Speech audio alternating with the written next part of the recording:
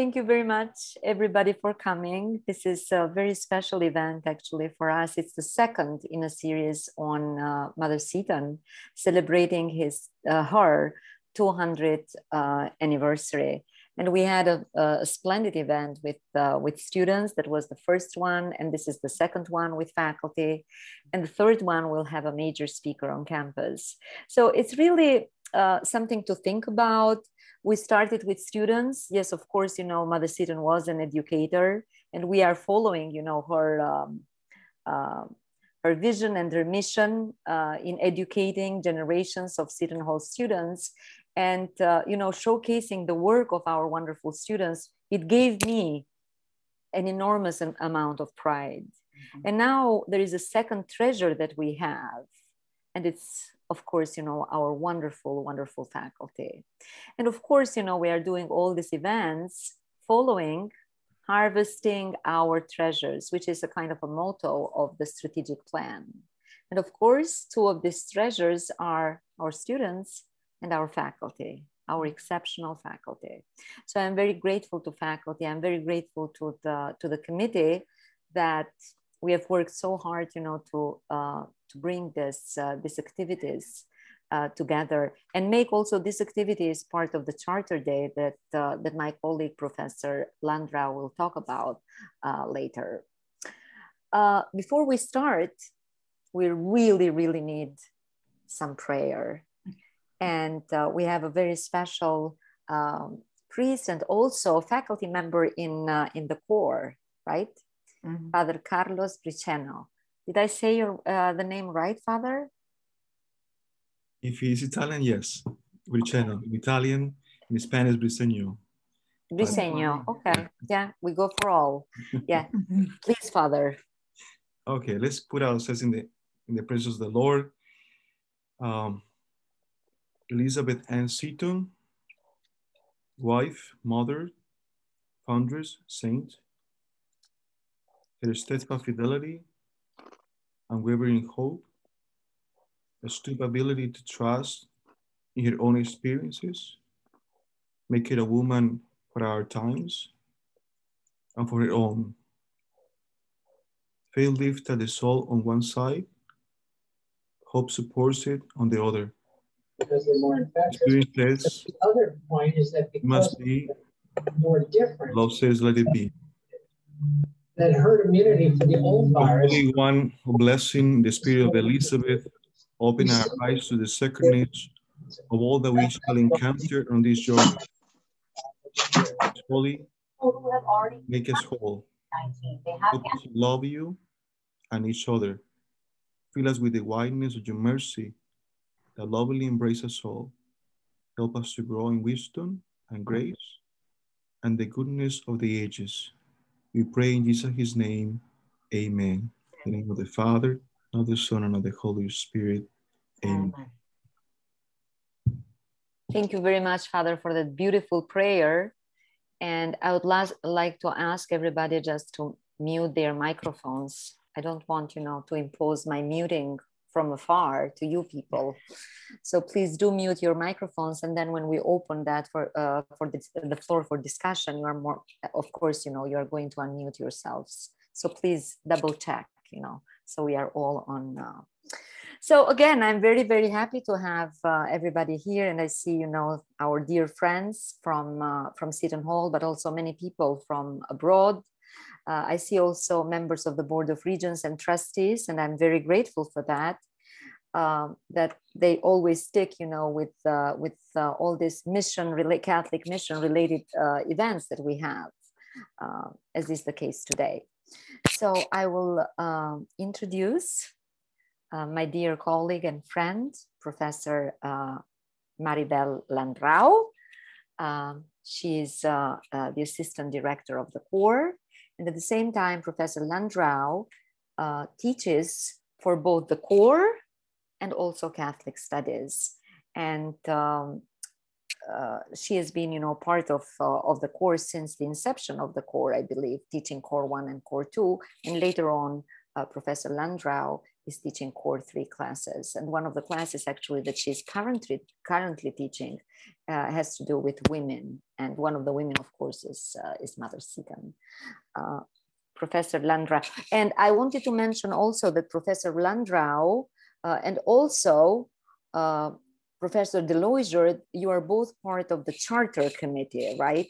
And our event is part of the of the of the charter uh, charter events of the of the university. So Professor Landrau, if you can say a few things about the charter. Um, yes, please.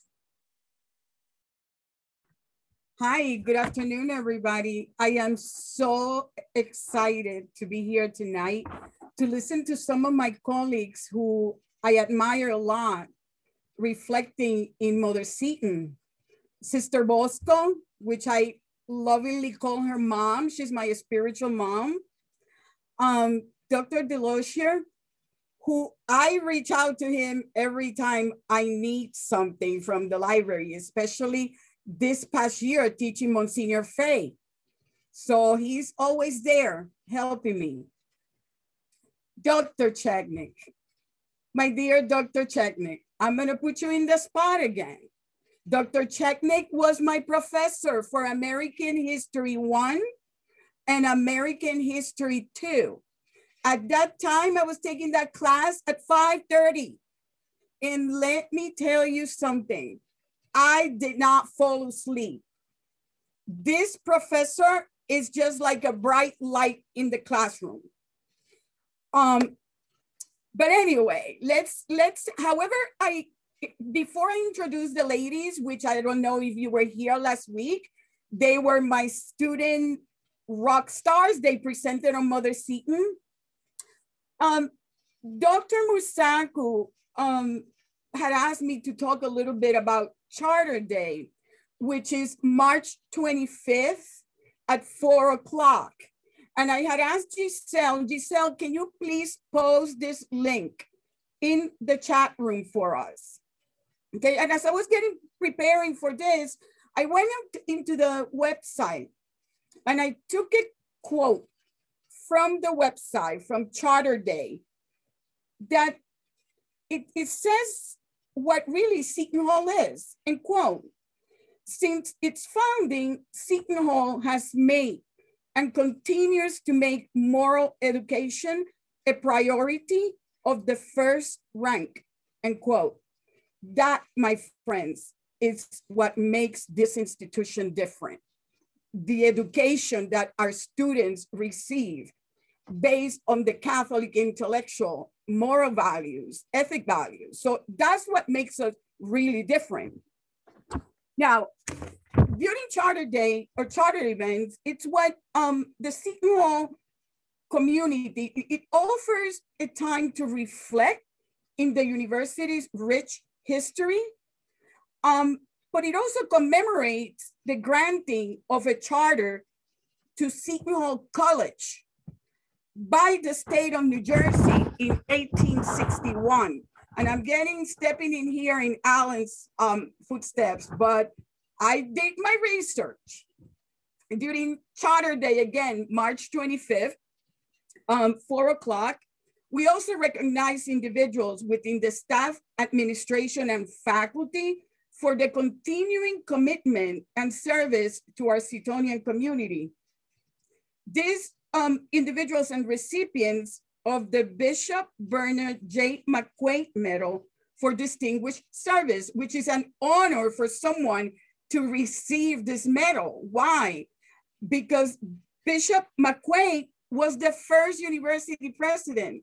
For those of my students that maybe didn't know that, he was the first university president. At the same time, we recognize recipients of the President's Award for Student Service as well as Seton Hall Servant Leader Scholars. So Charter Day not only is, is recognizing, looking into the university history, especially Mother Seton, but we are recognizing our own people. With that said, I'm gonna leave my ladies to take over the floor. Giselle, Bridget, and Kate, Um, they're going to introduce our faculty and she, they would also moderate the Q&A. So ladies, the floor is yours. Make me proud, no pressure. Good evening, everyone. My name is Giselle Pineda. I'm currently a junior with a double major in biology and Catholic studies here at Seton Hall. And it is with great honor and pleasure that I introduce the first panelist of the evening, Sister Mary John Bosco Amakwe. Sister Bosco, as we lovingly call her, is a member of the Congregation of the Family of the Holy Family Sisters. She taught in the College of Communication and the Arts for 10 years. She is currently an adjunct professor for the University Core Curriculum. Sister Bosco received her doctorate in communication and sociology from the Gregorian University in Rome. Now, please join me in giving Sister Bosco a warm welcome. I am mute myself. Yeah, thank you very much, Giselle, my, my baby, for introducing me. Example took him. So, am I on now? And the new administration power um, that slowly we would see some of those relations that were built up begin to erode.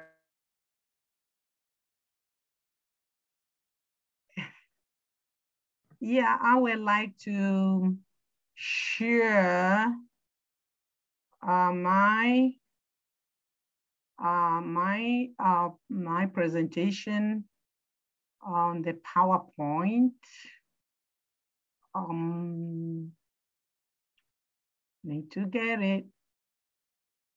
So my presentation will be on um, the legacies of Mother Seton, but from um, uh, in, uh, international perspective. Uh, international perspective because um, because of uh, the nature of mother's uh, life and mission too. And then as I embraced it since I came to the United States, especially Seton Hall, that is why I use uh, legacies in plural because of uh, these many um, aspects. I don't know, do you see my, do you see my PowerPoint? Yes, I see it. Oh, Yep. uh, Yes, oh, you can see okay. it. Oh, okay. So uh, in, in to begin with, I, I have to, I want to uh, begin with the quote that summarizes um, that uh, everything about mother and why she's um, uh, she's um, she has um, um, inspired me since I came to this uh, to this university. Uh, sit uh, sit indeed more. This is from the uh, Bishop of Baltimore, where mother worked in 1852. Seton did more for the church in America than all us bishops together. Then the next one is from the homily given by Pope uh, Paul VI on the day uh, mother was uh, canonized. Uh, Elizabeth Ann Seton is a saint. We make this solemn declaration before the Holy Catholic Church, before other Christian brethren in the world, before the entire American people, and before all humanity. This aspect, humanity, is where I fit in. So mother, um, my form of introduction, mother um, uh, Seton, um, I didn't know, even though her feast is being celebrated universally in the church every uh, January 4th, 4th. But I never heard about Mother Seton until I got here in 208. And that was the, I got to Seton Hall and that was the year too, I came to the United States and uh, thanks to my baby Maribel, when I walked into, uh, into the university because I was looking for a Catholic university and I walked into the, uh, into Seton Hall, she was the first person I met. When I asked about the uh, Department of Communication, and they told me, go to that building and you go to the basement. So as soon as I came to the basement, I was walking through the hall and here she, she was. I said, I introduced myself. Oh, sister, welcome. I introduced myself and I was, as I was introducing, I was giving her my resume. And then she looked at my resume and she said, Oh, wow, sister, you graduated from Rome, Gregorian. We need you here. And that is why, uh, since I've been here since 2008. So, and uh, one of the first stories, short, simple, I had about Mother Seton is that uh, she was aunt to Bishop uh, Bell, uh, Bishop Bayley, who was the Bishop of Newark, and that uh, the um, um, high school, Catholic school in his diocese, when it was elevated to uh, the status of a university by the, by the state, Bishop Bayley decided to name the institution after his aunt, um, Elizabeth Ann Seton. So that is the short and simple story I had about her. So, but uh, as I, I start to get used to knowing the compound, the campus, anywhere I go, her statues will greet me. I see her all over. But the three places that touched the statue, uh, the, her statue really kind of spoke to me. I was in the big chapel Immaculate Conception Chapel, the little chapel in Xavier, and the big one in front of the Jubilee Hall. So, I mean, it's like the gaze is right on me. And what I see, I read from the face, I read the face of um, a pretty woman, determined, strong.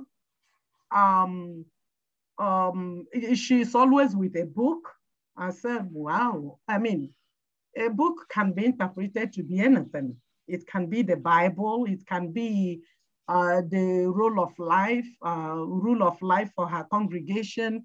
It can be the breviary, the, the prayer book for priests and nuns, and now prayer for the faithful. Everybody can use that book now. And it can be any book. These are, I mean, I, I will always pause and reflect on, on her and uh, her composure. The next thing uh, that uh, will always speak to me when I look at her statue is she was always with a rosary. And this rosary, I will always, I will always say to myself, I, I think the, being devoted to the Virgin Mary, the mother of Christ, is another way that mother identified herself with another, modeled her own life after another strong woman that uh, from generation to generation is celebrating as a strong woman. So these are the reflections um, that will always, um, um, that I always uh, ponder whenever I look at the statue of uh, Mother Seton. And then with that kind of, you know, interest, I started to read. I said there must be something more than just being an aunt and being named, uh, the university being named after her.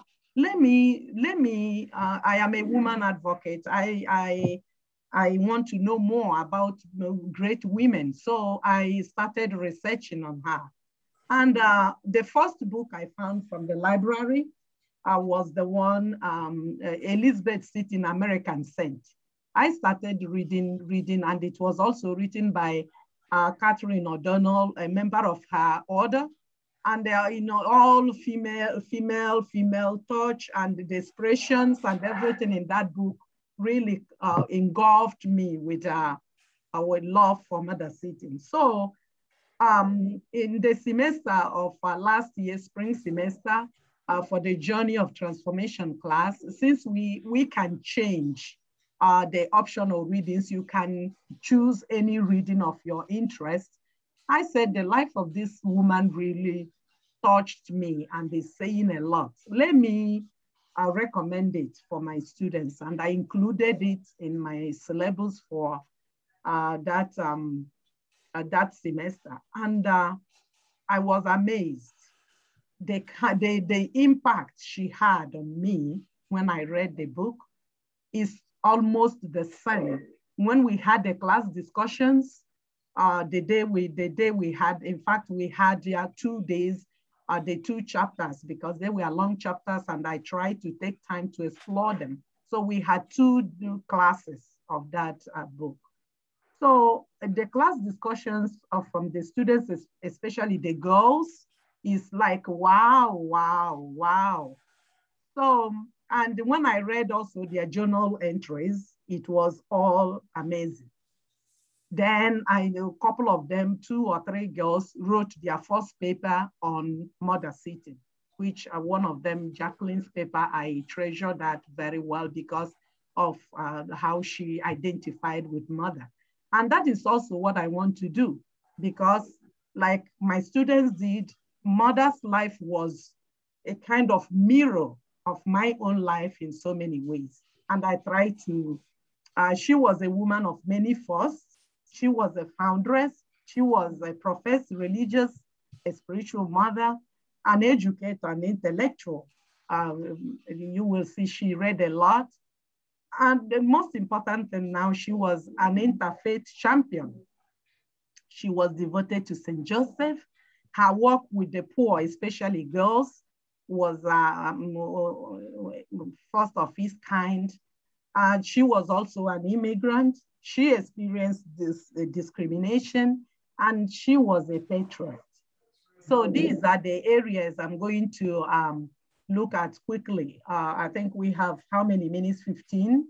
I will have to rush um, um, the presentation. So the first thing is uh, as a foundress, we know that mother founded uh, one of the uh, famous and the first um, women religious congregation in the United States in Emmitsburg in Maryland, the Sisters of Charity of St. Joseph.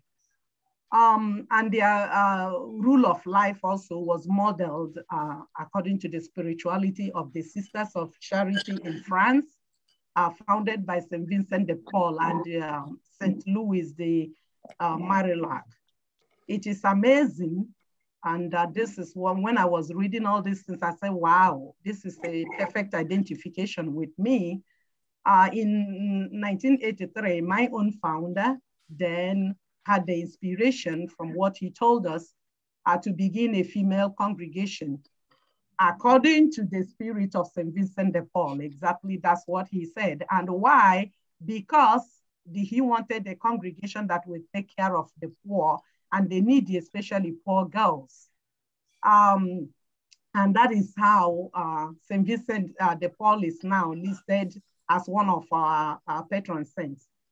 Mother married um, um, um, uh, at, uh, in, on January, uh, mother got married to William Seton on January 25th, uh, um, 1790.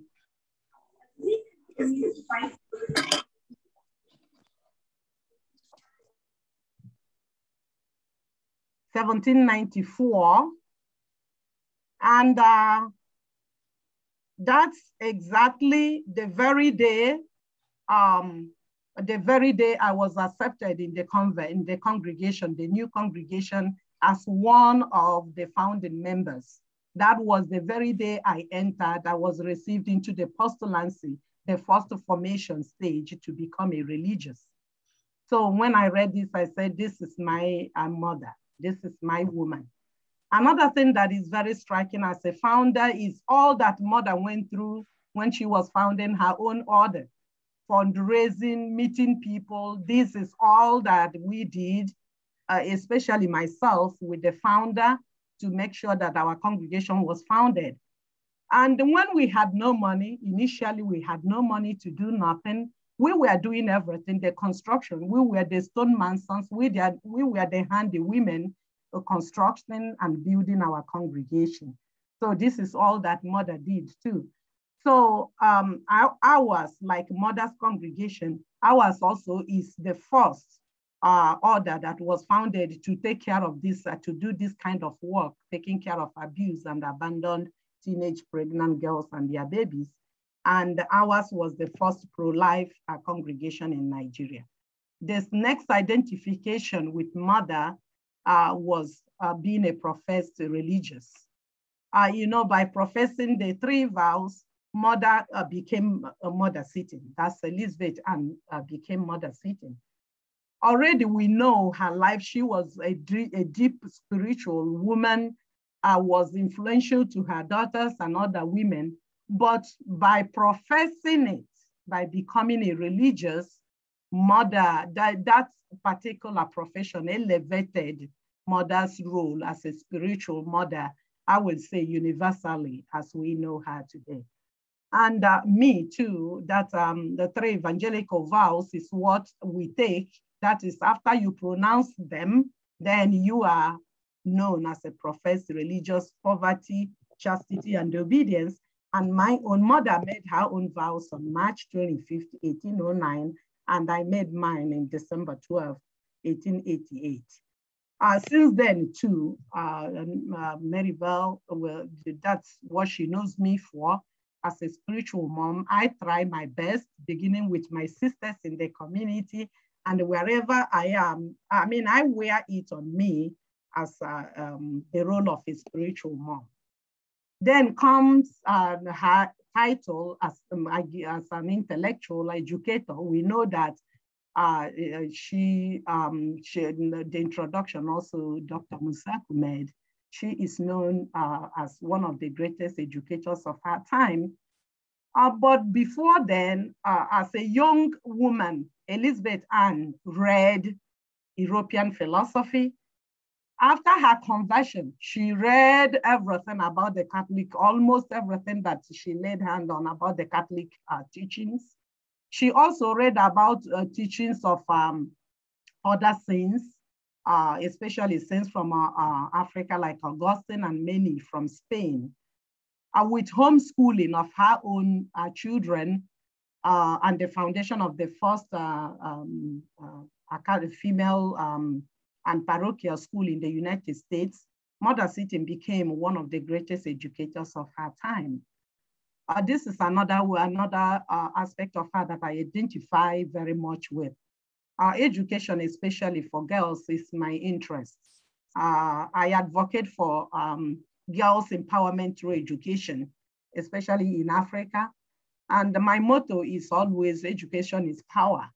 Uh, when we give them that uh, um, that arm, it will help them to develop, the, uh, the, it will help our continent to move forward. Uh, since I've been here in the US, I try to look out for sponsorship and for help educational wise. Uh, for example, I, since uh, 2017, I partner with a school in Bernardsville in, in New Jersey, uh, and they are helping a school in, in the northern part of Nigeria especially where girls are stopped from going to school. St. Patrick's is a Catholic school that is, is a boarding school for, for both boys and girls and Miss Interfaith too. And so, and I've been working hard to help uh, the bishop up there to make sure that the students, they have a little of scholarship to keep them in school. Also, my passion for education is the reason why I'm here at Seton Hall. I love books. And that's why a mother holding book all the time was was was something that uh, uh, that um, I can identify with easily. I always have a lot of books all over, and now I dream. My one of my projects and one of my dreams is to make sure to find a way of building an open uh, free library for women in Nigeria in order to help them uh, cultivate the culture of reading. The interfaith aspect of Mother uh, Seton also was very striking to me. For example, she was born in an Anglican family and uh, her, um, uh, her grandfather was uh, an Anglican uh, minister, uh, Richard Charlton. As a girl, she was listening to Methodist hymns. Um, in her teenage years also, mother was influenced by the Protestant tradition of centered on Bible reading and as an adult, she embraced, uh, she converted to Catholicism. Then her conversion also influenced other members of her family. For example, her nephew, uh, who became the bishop of, uh, of Newark, was a former Episcopalian minister. And he uh, converted, became a priest, and then, and then the bishop of Newark. And then one of the sister-in-laws, um, Rebecca Mary uh, uh, who was described as uh, uh, mother's soul, or the soul sister of Elizabeth Bayley Seton, converted with her.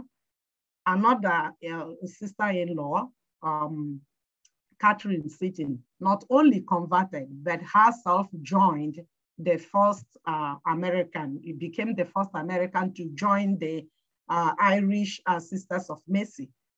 Uh, so this is also uh, just a, kind of a replica to my own story. For example, my mom was born and raised a Methodist. She converted and became a Catholic when she married my dad. And she brought with her the that uh, Protestant culture of uh, uh, Bible school. And she, even though she was an, uh, an, an she wasn't educated, but she was reading the Bible in her local language and was sharing it with the women in the parish. And uh, she was known for that until in my family presently, we have at least seven different Christian denominations, and we all get along well, uh, like Mother did.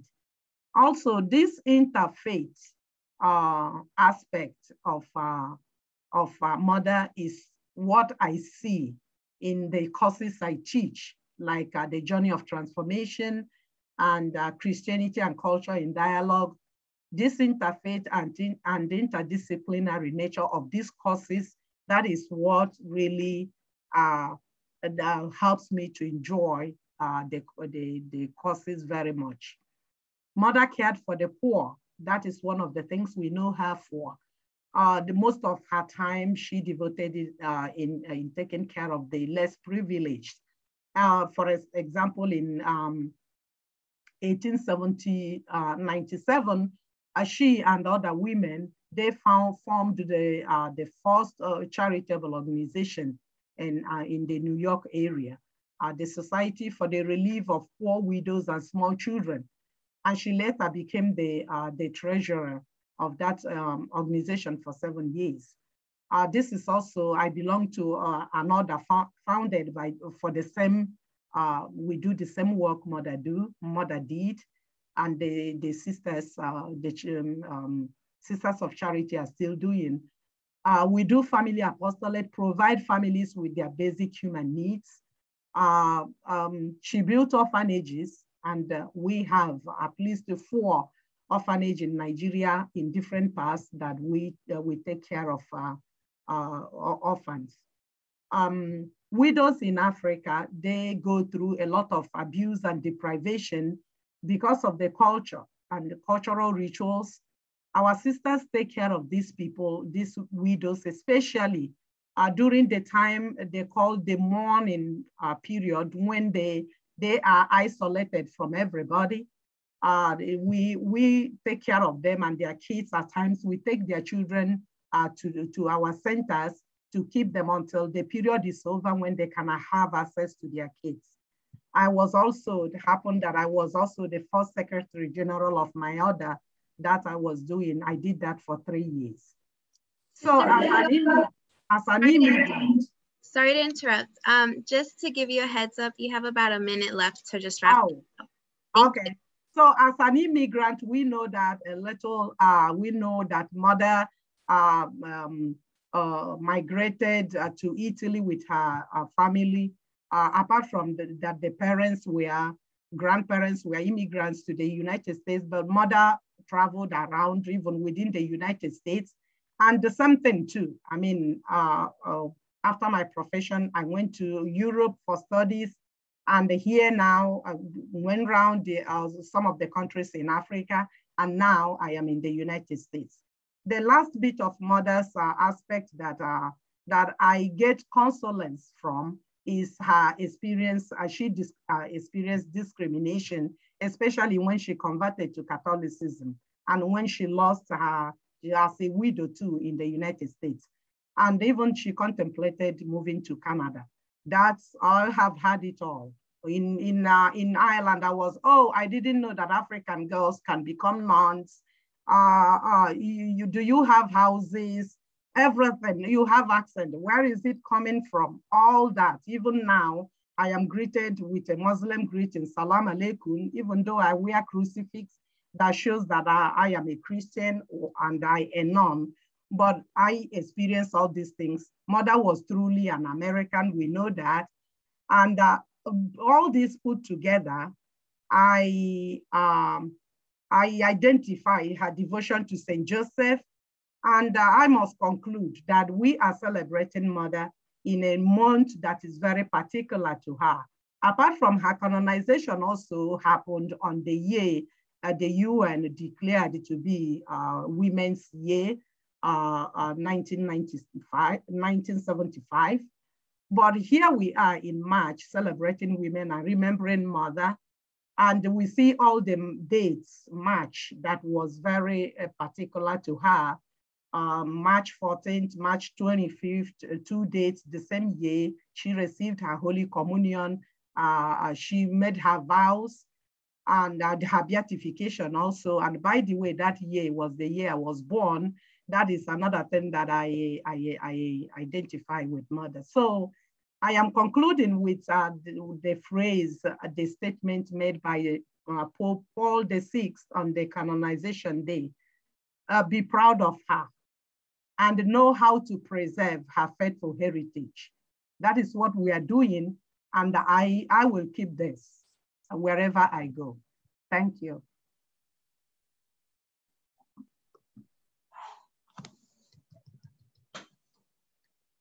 Thank you, sister.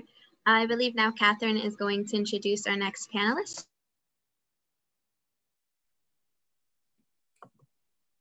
Uh, yes. Oh. No, it's actually me, Giselle. Actually, Bridget, uh, Giselle, she's going to introduce. Oh, I'm sorry. That's okay. Thank you so much, Sister Bosco, for your lovely presentation, and thank you for everyone who has gathered here tonight for this special celebration of our dear Mother Seton. My name is Bridget Emerson, a junior public relations major here at Seton Hall, who spoke at the student panel last week. Tonight, it is an honor to welcome our second guest speaker, Dr. Alan Delozier. Dr. Alan Delozier currently serves as the University Archivist at the Seton Hall University and Executive Director of the New Jersey Catholic Historical Commission. He received his doctorate in Irish Studies at Drew University. Please welcome Dr. Alan Delozier. Great. Thank you so much for that lovely introduction, Ms. Emerson, Bridget. I appreciate it. And um, it's a real great honor to be with everybody here tonight. Um, and I just want to thank Sister um, Mary John Bosco for a very inspired conversation and discussion about how Mother Seton speaks to her. And what I'm going to do over the next few moments, and my apologies, um, I'm trying to put up my PowerPoint here. Um, let's see. I'm used to. Dr. Delozier, um, can I interrupt you two seconds? Oh yeah, absolutely. Sister Bosco, can you stop sharing your screen so Dr. Oh. Delozier could just share his? I'm sorry. No, no, now I know. Oh, my, my apologies. Thank you so I'm much, not sister. Used to Thank Zoom. you. I like team. Bad.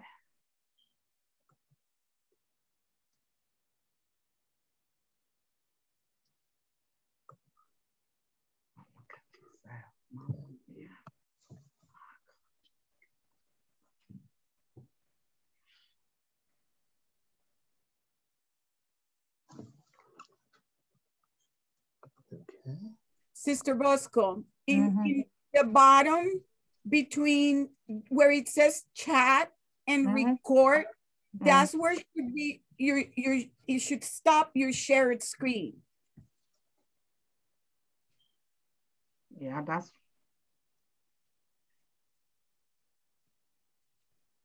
Did you get it? no. Okay. Is it still on? Oh, si sister, if you go down, as uh, Professor Landrau mentioned, if you go down to the Oh, toolbar okay. at the bottom, yep, share screen. Great, thank you so much. I appreciate it. Okay. So if you just give me a moment here. Okay. Okay, can everybody see the screen? Yes. Wonderful. Thank you so much, everybody. And again, it's a great honor and pleasure to be here tonight. And um, the title of my um, presentation is called Preserving the Life and Legacy of St. Elizabeth Ann Seton in Print. But I also added an addendum and beyond, because I know we're in this time of COVID and so forth. What I'm going to do is channel not only Mother Seton and her stories, and also the resources that really reflect around her example and how she's really educated not only scores of generations in the past, but even the current generation. And I have to praise all the speakers last week. That panel discussion was excellent. And it shows that there's such a passion and such an excitement for the life of Mother Seton among our students here today. And also myself, um, I should have mentioned my bio. I'm a proud member and adjunct of the Catholic Studies uh, program, where I teach the uh, class entitled New Jersey Catholic Experience, where we talk about patron saints connected to the state of New Jersey. And Mother Seton is foremost and prominent among them. So it's a real pleasure to be here and talk more about uh, Mother Seton. But I'll also channel as an archivist and librarian St. Jerome and St. Lawrence as well. So without any further ado, I'm going to get started and show you a few uh, slides here. And I'll apologize if this looks like a commercial message for resources that we work with, but really it's channeling Mother Seton in terms of her example about education, especially being the uh, patron of American Catholic parochial education and just enlightening and bringing more knowledge to our base, not only here at school, but across the uh, nation and across the world. Anyway, with that said, just some thoughts in terms of um, research. I look at research from any perspective because there's programs dealing with Mother Seton's example, uh, especially at Emmitsburg, for K to 12 uh, age range, which is great. That's starting out with simple exercises about what Mother Seton was all about, who she was, and all these great factors. And as Sister uh, Mary John Bosco mentioned, she has some great biographical information along with how she inspired as well. So as you can see here, and please forgive me if this is sort of repetitious for some folks. Um, let me see if I can come up here. I may put this on a timer. Anyway, um, in terms of biographies and uh, various other treatments going back in time to the 19th century, all the way up to the present, you got to keep in mind the tone, who the author was, and the style of historical scholarship that was in mind. But this is all good because it gives you sort of like a, um, a vision or a view into um, the time periods, and it can be used as one of those tools to look at how Mother Seton was treated by different generations, but also looking at different things librarians think a different way. We think about the resources used and then trying to promote where they're from. So bibliographies, endnotes, footnotes, primary and secondary sources. And for those of you who aren't familiar with primary sources, they're basically letters, manuscripts, newspapers, things that are in the first person. Secondary is more biographical information, but everything has its place in terms of educating each of us and all those who are set to discover Mother Seton down the road. And I mentioned um, grade school and so forth, but also other types of levels, college, university, for example. I've dealt with graduate students. And you know what the beauty is? I learned a lot from those individuals, along with building on tops of my knowledge of what I've learned already. And I just have to thank too, Dr. Murzaku, Dr. Enright, Dr. Rzeznik, and um, Dr. Landrau and others in terms of over the years, they've enlightened me about Mother Seton from various angles as well. So with that said, you know, other individuals, aspects of her life, time periods, and so forth. And primary sources also come in the form of illustrations. There's so many of them out there, and it's interesting to see what the aesthetic and the artistic interpretation is, along with the textual base as well. So let's get into some more specifics in terms of Mother Seton and finding those information sources that you may not have discovered before. But again, if it's a repetition, you know, things that can be available to you, you know, either remotely or in person as well. So I just want to mention again the COVID aspect and then trying to find information as quickly, as thoroughly, and as completely as possible. So this is one of the um, standard um, sources here. Um, the collected writings, Sister Regina Bechtle, um, Judith Metz, and, um, and others who were involved in the research as well. Um, I can thank Sister Regina Bechtle because she visited our archives a few years ago and she found a letter from Mother Seton. I'll show you that um, in a few moments. That was written in her hand to her daughter, uh, which constitutes one of our um, prized possessions here in the archives. But with that said, this is something that we're looking at in terms of online versions. Um, but at the same time, in terms of a service here at Seton Hall, we're happy to uh, work with you in terms of digitization and scanning and so forth. So I guess I'm veering back at the commercial message time, but really it's, it's about sharing the education wherever you find it and then, you know, transmitting it and then having it available for you as um, quickly as possible. So this is one of the prime sources in terms of primary sources. That's in book form that can be made available to you down the road. Okay. Now what I'm going to do is get more into some of our websites that are connected. This is what is called a library guide or LibGuide. This is one that's, that's been created. Um, I'm sort of the conduit or the messenger, so to speak, and we're always looking to populate with more resources electronically, um, things in our library, and things that are external as well. We give equal opportunity to you know valid sources related to Mother Seton. So the researcher has a one-stop shop, so to speak, in terms of finding materials. And this particular one not only deals with her life, but also internet resources, um, various other you know connected areas. And we even went one step further in terms of the Americanization. You know, the connections to the Bayley family. Of course, James Roosevelt Bayley, his sister Mary John mentioned about the first Bishop of Newark, and also the Roosevelt family, which has a connection as well, being cousins of the um, the Bayleys as well, and even going back to Scotland and the Seton family, going back generations. So with that said, you know, this is something that we have and the links are at the bottom. And after this presentation, I can make this uh, PowerPoint available if you'd like. You know, no pressures, but we like to have things for reference if you if you'd like to uh, resource and uh, access it. Okay, so along with the LibGuide, we also have specialized collections within our archives. Um, I mentioned the letter from Mother Seton, which I'll show you in a moment, but we have other ones that deal with Mother Seton's uh, canonization, the family in terms of uh, the Seton Jevons papers, which happened different generations after Mother Seton passed away over 200 years ago, well, 200 years ago this year, and um, others in terms of um, scholars. Sister Marie Celeste, who was a, a, scholar on Mother Seton, we have her index card collection. Remember the days when we had index cards before computers? Very impressive in terms of how she organized her notes and, um, and published from there. So she was a wonderful person to deal with, and we have her collection among various other things, dealing with the uh, Seton family um, legacy within our collection. And here's the letter off to the right-hand side. You see here. Um, if anybody can read and translate 19th century script, very impressive. I'm always, um, always in awe of people who can really decipher tremendous, beautiful cursive writing. But with that said, here are some of the collected. I'm sorry to interrupt. Uh, just to give you a heads up, it's about five more minutes left. You Thank got you. it. Thanks so much. Thanks, Bill. Okay. Yep, I'm going to go quickly. So that's, that's perfect. Okay. So different uh, collections here. Photos, Bayley Seton League, which was named in honor of Bishop Bayley, Mother Seton, which was a uh, philanthropy, philanthropy group in the 1940s that helped in terms of scholarships and helping Seton Hall students out. Um, so as we go down, I'll go a little bit quicker. And I also want to, um, again, praise the uh, students, um, each of you who gave a presentation last week, Giselle, Bridget, and Catherine, and also uh, Professor Landrau for the tremendous opportunity to learn more about Mother Seton from your own respective uh, perspectives. And then here's the uh, Seton Shrine. Um, basically, Emmitsburg is the epicenter of Mother Seton materials.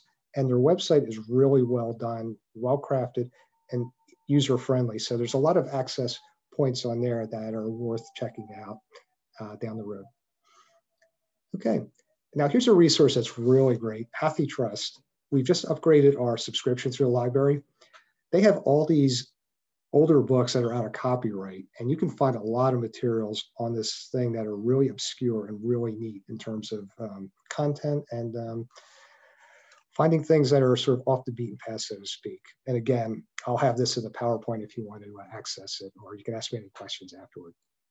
Okay, so we're almost towards, towards the end, so thanks for the heads up. Archive Grid. This tells you a little bit about uh, manuscript collections that deal with Mother Seton and family members. It has a great search box. It's very uh, user-friendly. And just in my one look, I looked at materials. Of course, the main ones are in Emmitsburg, some here at Seton Hall, and um, of course the wonderful schools, Cornell, University of Scranton, Notre Dame, Library of Congress. And New York has a number of different repositories that have Mother Seton materials too. So this is an access point that's really helpful in terms of primary source materials that are really um, helpful in terms of looping together all the access points of Mother Seton out there that have been processed. And of course, our wonderful friends at the College of St. Elizabeth, we deal a lot with them and they're tremendous, the Sisters of Charity Mother Seton's group. Um, they have a number of materials in the Sisters of Charity collection and their college archives as well. So it's a really great place and the Mahoney Library is the access point for anything from a local perspective. And that's me. And I just want to thank you very much for your time, attention, and it's a great honor and pleasure to be with everybody here tonight. Thank you very much.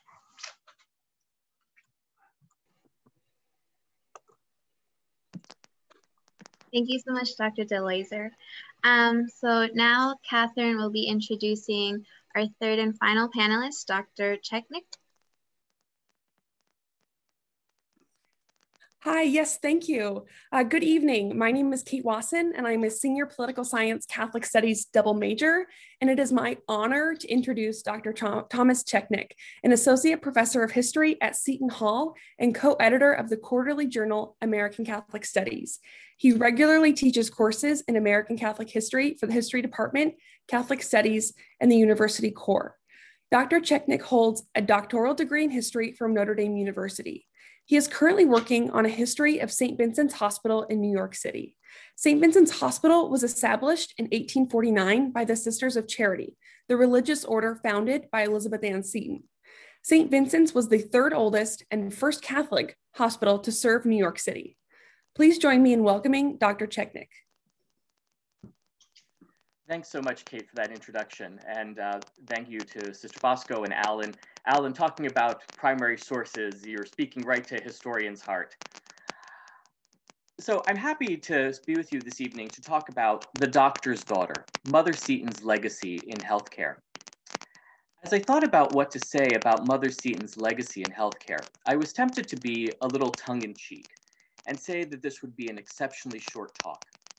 Mother Seton herself never engaged in any formal healthcare ministry, nor did her sisters establish any hospitals during her lifetime, although they did help staff the infirmary at nearby Mount St. Mary's Seminary as part of their domestic uh, services to the college. Their primary work lay in education and childcare. It was not until two years after Mother Seton's death that members of her religious community formally engaged in healthcare ministry, when several Sisters of Charity were invited to take charge of the Baltimore Infirmary. Having never undertaken such work before, the community's annals note, quote, everything was new to them. But such a dismissal would be anachronistic, since formal healthcare as we know it today did not exist in Mother Seton's time. Tending to the sick was simply part of domestic labor. It was part of the skill set that all women were expected to possess. Mother Seton understood this well. She cared valiantly for her husband when he was suffering from tuberculosis, including during their confinement in a cold, damp lazaretto, a quarantine prison in Italy, where ironically they had gone in the hope of securing health and healing. As a mother, she tended to her children, two of whom died during childhood. And as the spiritual mother of her community, she buried 18 of her fellow sisters. She knew all too well the immense physical and emotional labor that went into caring for the sick and the dying. As one biography noted, quote, illness, sorrow, and early death were omnipresent in Elizabeth's life. She also knew the struggle of illness firsthand from her own tuberculosis, the disease that would claim her life at age 42. In the years and decades that followed, memory of her experience and her example would live on within her religious community. Caring for the sick was an integral part of the work of charity to which they, and Mother Seton herself, had dedicated their lives. I'm going to just quickly share my screen with everybody.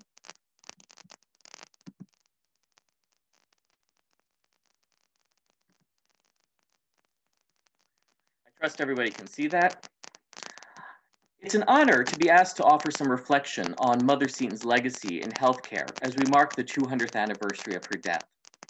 For the past several years, I've been researching the history of St. Vincent's Hospital in New York City, an institution that was founded by the Sisters of Charity of New York, a branch of the original community founded by Mother Seton in Emmitsburg, Maryland the, uh, the slide that you have here shows the, the first uh, building that the hospital occupied in 1849. And then the second image is the way the hospital looked in 1965 after its post-World War II expansion. So you can see how dramatically the institution had grown in a little over a century. The title of this talk was borrowed from a booklet that was produced by the hospital to celebrate the opening of its new medical research building in 1963. The book called attention to Mother Seton as the doctor's daughter. Uh, it celebrated Seton's own New York City roots and her family history in medicine. Her father, Richard Bayley, was a public health officer and the first professor of anatomy at King's College, today's Columbia University. The booklet asserts that it was from him that Mother Seton learned, quote, the care of the sick and the tragedy of disease. As a brief aside, you can see um, that the booklet includes an image of Mother Seton. Curiously, Mother Seton was rarely mentioned in the hospital's publicity materials prior to this time, the 1950s and 1960s. And the hospital did not rename its main building in her honor until 1959. So she really wasn't present um, in a significant way in the hospital. It was only in the 1950s and the 1960s that she sort of reemerged with more force, and the timing of that was not coincidental. It was part of a deliberate effort to place St. Vincent's within, quote, the length and shadow of Mother Seton, following the opening of her cause for canonization in 1957.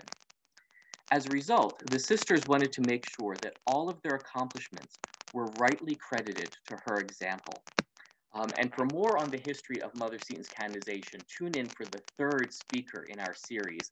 Uh, we're going to have Professor Kathleen Cummings from the University of Notre Dame speaking on Mother Seton's cause. So back to the issue of Mother Seton's legacy in healthcare. Uh, but first, one disclaimer. In Catholic circles, legacy has often been measured in terms of numbers. Parishes built, converts gained, children educated. This has been the case in Catholic healthcare too. Popular accounts like to emphasize how more than 600 Catholic sisters served as nurses during the Civil War, making up a sizable portion of the nursing corps on both sides of the conflict.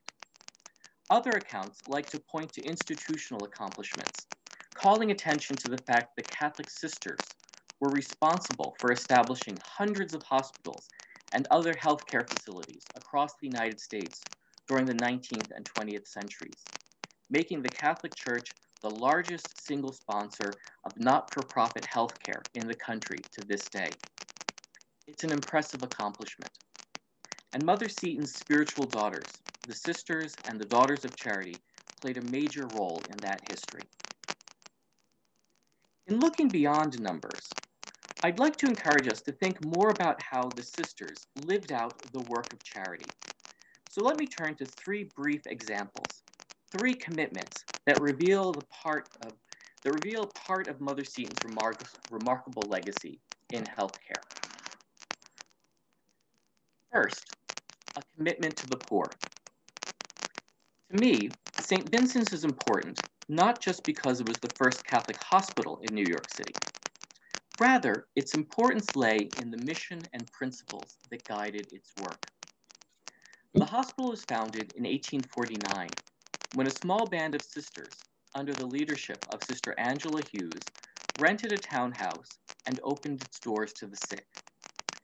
St. Vincent's was the first hospital in the city dedicated to the care of the sick with no, with no financial means of their own, regardless of race, creed, or color. That, in and of itself, was a radical policy statement at a time when the two, only two other options available to the sick were either the squalid public hospital at Bellevue or the elite New York hospital for those who could afford private care. The sisters maintained that all who came to them in need would be received, and that the poor were no less deserving of the best care than those who could pay. It was recognition of their fundamental dignity. Other voluntary hospitals chose who they wanted to serve, regularly shutting their doors to the poor. The sisters, however, never turned anyone away. That principle became a hallmark of Catholic healthcare in the United States and one of its most distinctive legacies. Through their example, Catholic sisters pushed society to recognize that healthcare was a right and that all, including and especially the poor, were deserving of equal care and treatment. Now, what happens when an, institutions live, an institution lives by a policy of not turning anyone away? I'd like to turn now to the 1980s and St. Vincent's response to the AIDS crisis. So second, a commitment to care. Given its location in Greenwich Village, the heart of the city's gay community, St. Vincent's found itself at the epicenter of the AIDS crisis when it emerged in the 1980s.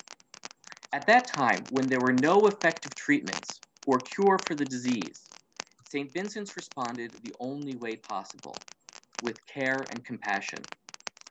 Among those who stood out for their example was Sister Patrice Murphy, coordinator of the hospital's hospice program. And she's pictured there with uh, artist Andy Warhol from one of the fundraising events that the hospital sponsored. As the number of AIDS patients at St. Vincent's began to swell, she refocused the program in 1983 to help respond to their unique needs, establishing one of the first dedicated AIDS hospice programs in the country. She also worked to recruit and train volunteers willing to work with AIDS patients at a time when many were treated as modern day lepers because of uncertainty about the nature of the disease and its transmission. Sister Patrice recognized. Dr. Rzeznik, Sorry to interrupt. You have a little less than five minutes left. Just to Thank you so much. Thank you. Sister Patrice recognized the importance of the example she and her program set. Often, simple acts of kindness were the most important, like offering a hug or being willing to hold a patient's hand. Her work also set an example to those under her care. Many within the gay community were unsure how they would be received by a Catholic institution, given the church's teachings would they be judged? On the contrary, Sister Patrice's work revealed the power of unconditional love and radical acceptance. It offered an affirmation of their status and moral worth. For those who may have been alienated from the church or from God, her efforts helped to bring another form of healing and reconciliation. As she recalled, if they find a loving, compassionate God, then we've done something worthwhile. But at times, care and compassion alone are not enough. Sometimes ensuring that the needs of the sick and the poor are met requires not just charity, but reform. And so third, I want to conclude with a commitment to justice. Here, I want to look beyond St. Vincent's and show how Mother Seton's spiritual daughters drew upon their experience in healthcare to advocate for fundamental reform. When the history of the Affordable Care Act is written, I hope that Sister Carol Keehan, a member of the Daughters of Charity, receives the attention she deserves. As president and chief executive of the Catholic Health Association, a position that she held from 2005 to 2018, she lobbied on behalf of the legislation and worked to secure its passage. And today we celebrate the 11th anniversary of its passage. Her efforts were especially crucial in securing the support of Catholic legislators. Keehan helped convince them that the terms of the Affordable Care Act were consistent with the Catholic Church's teachings. In recognition of her efforts, President Obama gave her one of the commemorative pens he used to sign the legislation. Hmm. As one member of President Obama's staff said, the Affordable Care Act could not have been enacted had it not been for the tenacity and generosity and grace and determination. Only 28 people, Carol. but you can at least see me.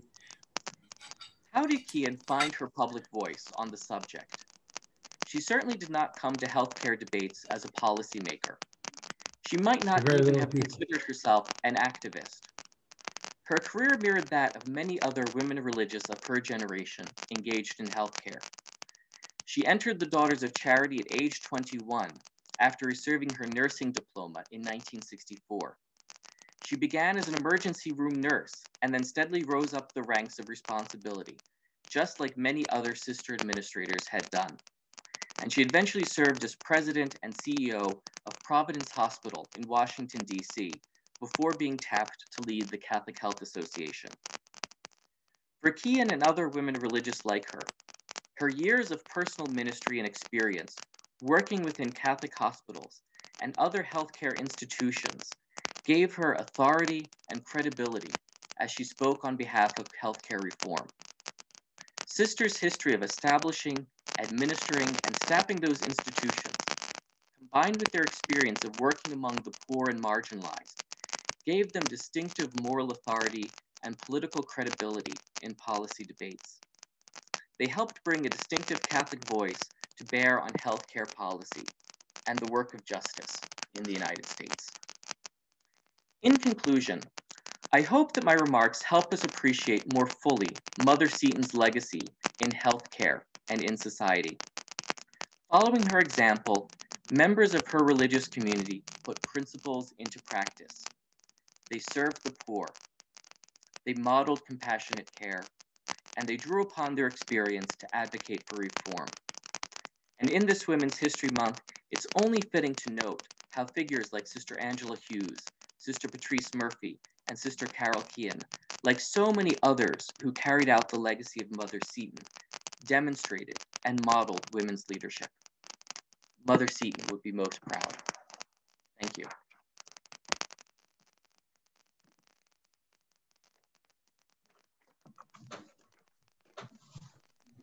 Thank you so much, Dr. Rzeznik. That was great.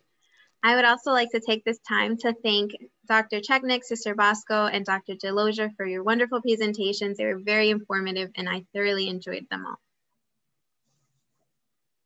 So now I'm going to open the floor up to any questions, comments, or anything that you may have. Um, also, please feel free to use the chat if you're not comfortable with unmuting yourself. I would like to start. Go ahead. Yeah, so I was kind of uh, writing some notes for myself. Um, you know, when when I was, uh, I want to first, first begin thanking thanking you for allowing me to be part of this uh, this meeting, and I enjoy all the presentations. So after listening all the presentations, uh, my favorite Bible passage came to mind. Is John John 15, 13. That's my favorite passage. He says, Greater love has no one than this, to lay down one's life for one's friends. And I kind of uh, think about this passage because as I listen, as I reflected in the, the life of Mother Seton, I can see that she laid her life down for people that probably she didn't even know. And that's for me is a, is a message. You know, anytime I see the, this commandment of love fulfilled, I see holiness. Know, holiness is to give you life. And, and it, that's the meaning of love. The love ultimately is just to give you life and to bear, you know, to bear the difficulties of life to for the other, you know, to carry the cross for others. And I see Mother Seton, she carried the cross for others.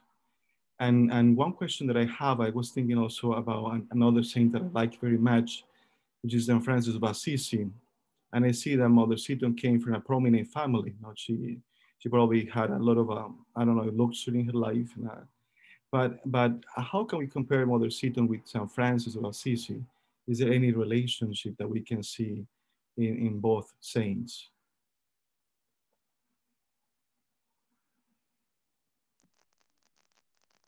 Thank you so much for that question. I, am not necessarily an expert on Mother Seton's full biography, um, but I think your point about sort of the ability to, to engage in, in that degree of, of self-giving is found in them, um, but also many saints in the Catholic uh, tradition. So, I mean, for her, very much it was drawing upon uh, sort of the inspiration of St. Vincent de Paul and St. Louise de Marillac, who, you know, had founded the Sister of Charity. She used them as the basis for her own religious community's um, order, uh, sort of her own sort of constitutions.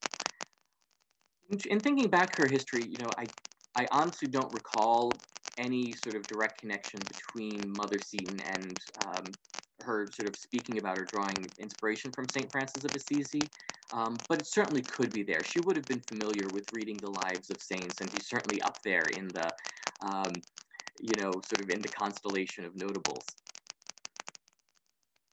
Thank you. maybe in their service to the poor. And you, Tom, mentioned that, you know, Mother's uh, mission in serving the poor and St. Francis really stood, you know, for the poor. I personally see a connection between the two there. Yeah, I mean, sometimes it is when you look at sort of within healthcare, you know, you often have sort of sisters who are engaged in in very similar ministries, but they will sort of define themselves ever so slightly. Um, so this is kind of getting away from your question, but when you know, in New York City, the Sisters of Charity established their hospital. Franciscan Sisters established a separate hospital a few years later for German speakers. Uh, Mother Cabrini's sisters established a hospital for the Italian community. Um, and there was a bit of a sort of a little bit of a tension when uh, in the 1980s, the Archdiocese of New York looked to merge hospitals together. Because even though they were all Catholic hospitals and they were all engaged in uh, serving the poor, when it came to try and reconcile and bring them together, you know, one talked about its commitment to charity, the other one would talk about its Franciscan values, another one would talk about Cabrini's values, and you know, it was sort of like splitting hairs, but there was just enough nuance in how they understood their own history that it wasn't simple enough to just sort of say they're all Catholic hospitals. Um, but this is part of the richness of the Catholic tradition, where they can draw examples from different strains, different parts of the tradition, um, and, and sort of immerse themselves in that same important work.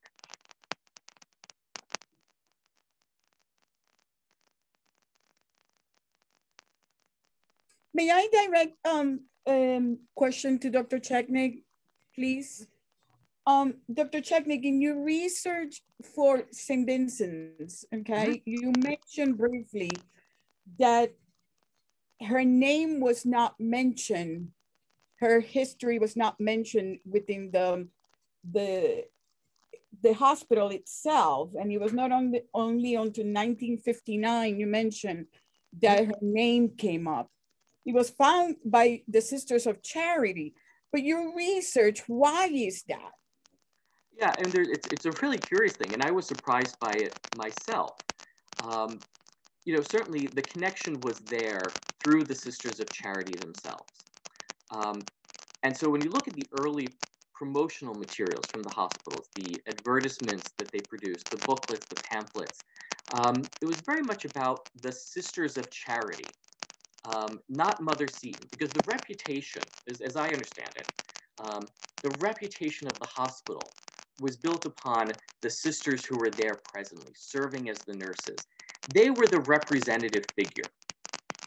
Um, you know, and often sort of they didn't want to claim identity for themselves. You know, the sisters were sort of anonymous. They were all interchangeable. They didn't take on specific, you know, their own personal persona. So it might have been part of this way of a work of humility. That was simply the sisters did this rather than any one person. But then it changes by the 1950s and the 1960s when they are actively working for Mother Seton's cause for canonization.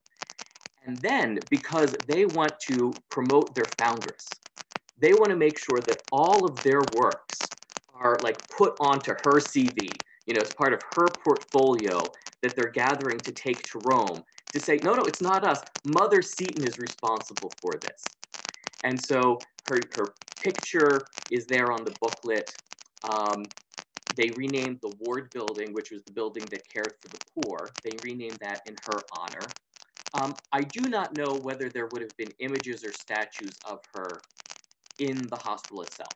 You know, the, the archival record doesn't give me, you know, sort of photographs of the interiors. Um, but it probably it probably wasn't until she was declared venerable and that the, the Vatican sort of made it possible for her her uh, for devotion to her to be popularized that she would have popped up more and more. So part of it is just the the internal dynamics of the way a women's religious community operated during the the earlier period and then the particular sort of um, efforts that were being made to promote her cause for canonization. Then it's Seton everywhere. So there is an agenda here. There was an agenda. And I say this in a loving way. Right, right. That, nothing sinister. You know, they weren't trying to sort of, uh, you know, push her aside or anything like that. There also would have been, uh, and, and part of it too for the earlier history, and this is getting into perhaps some internal church dynamics. The Sisters of Charity of New York split from the Emmitsburg community. And the Emmitsburg community connected with, with France and became the Daughters of Charity. So even though the Sisters of Charity New York claimed their history as part of Mother Seton's um, community, they founded their, the, the order. Um, there might have been a little bit of distancing and promoting it, the early history of the hospital, as something being done by the Sisters of Charity of New York, as opposed to the Daughters of Charity in Emmitsburg, Maryland. Thank you.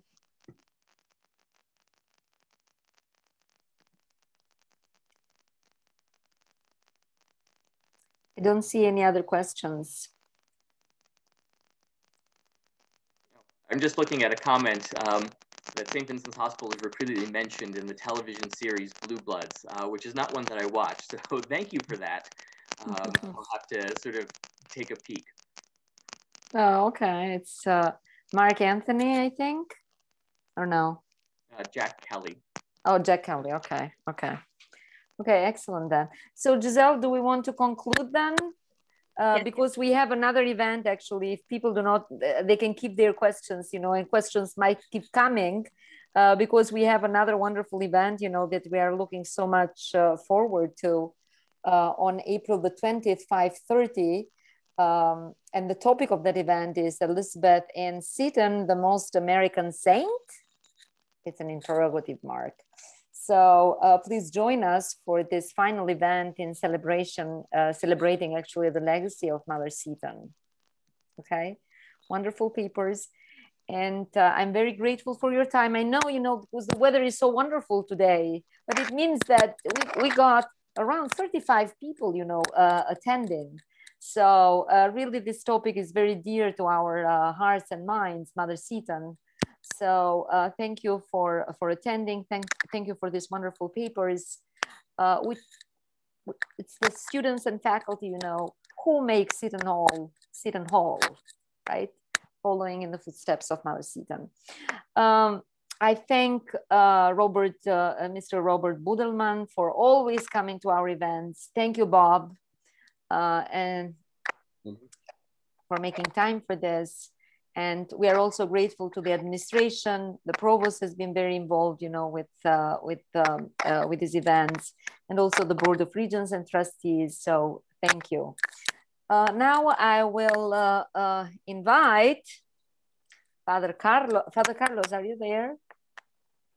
He posted in the chat, Dr. Murzaku, that he had a meeting.